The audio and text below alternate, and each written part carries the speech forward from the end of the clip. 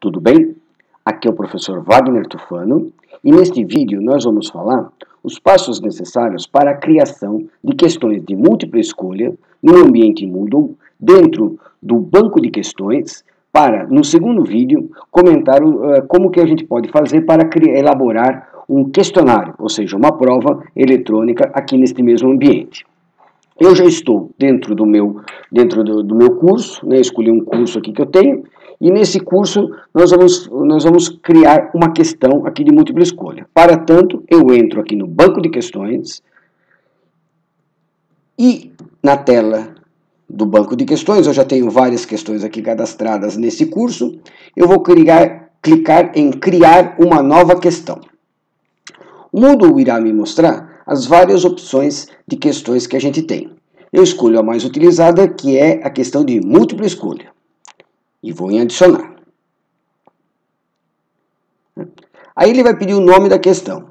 O nome da questão é uma informação assim, para nós, professores, para a gente identificar mais facilmente a questão. Eu vou colocar aqui questão treino 1. E para simpli simplificar, aqui o texto da questão, que é, seria todo o texto que irá compor a questão, vou fazer uma coisa bem simples. Pedro Álvares Cabral foi. Dois pontos. Né?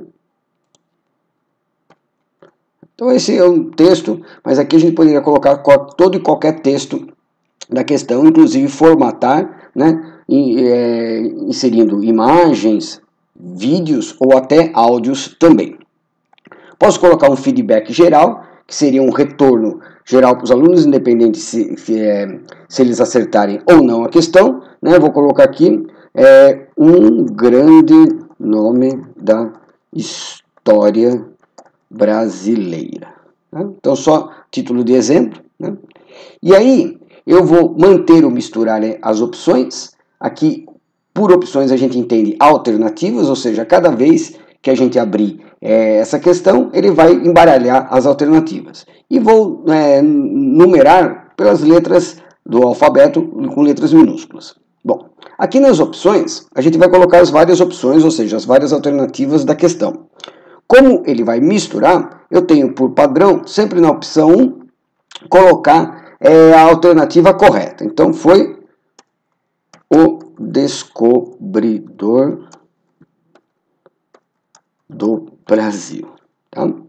Bom, para indicar que esta aqui é a alternativa correta, em nota eu coloco 100%. Né? Poderia fazer uma alternativa meio certa, mas aqui acho que é pouco utilizado, vou colocar 100%.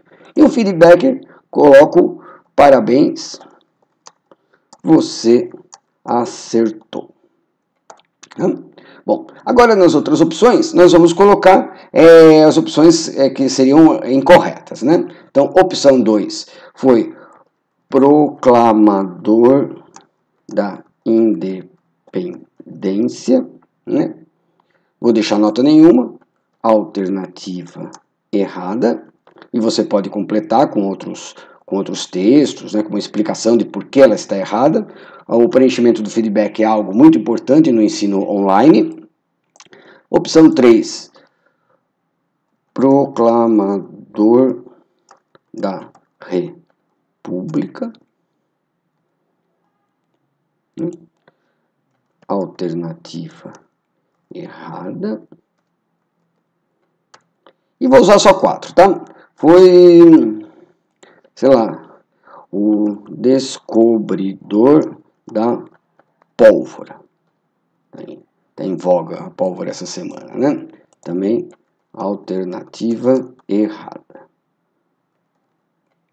Poderia continuar usando mais outras opções. Aqui só estou usando a opção A, B, C, D, né? são quatro opções, poderia usar E. E se eu quisesse, poderia escolher espaço em branco para mais é, outras escolhas. Né? Se eu quisesse fazer é, F, G, H e assim por diante. Tá ok? Bom, em feedback combinado, eu poderia dar um outro feedback, um complemento para as respostas corretas. Né? É, sua resposta está correta.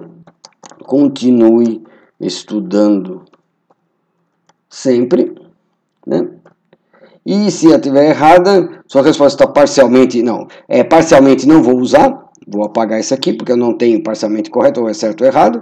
E se ela estiver incorreta, é né, estude mais. Né? Não está nada muito pedagógico, mas tudo bem. Né?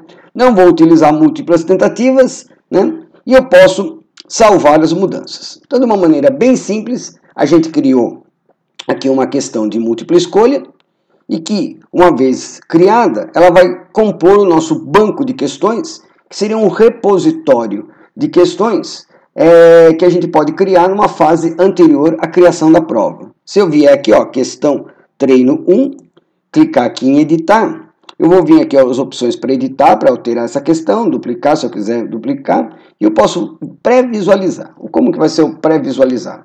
Mais ou menos como o aluno teria essa questão essa questão dentro da sua prova. Né? Então, lá, Pedro Alves Cabral foi, escolheu uma opção, ele coloca por padrão, e as alternativas aqui A, B, C, D. Né? Se eu colocar aqui uma errada, né? enviar e finalizar, ele vai dizer que a alternativa está errada, vai dar o feedback completo, né? vai dar o feedback geral, né? e ainda ele dá o qual seria a alternativa correta. Ok? No próximo vídeo, nós vamos utilizar o banco de questões criado para é, criar um questionário de múltipla escolha. Este foi o professor Wagner Tufano, no primeiro vídeo do treinamento de Moodle. Um abraço a todos e até mais.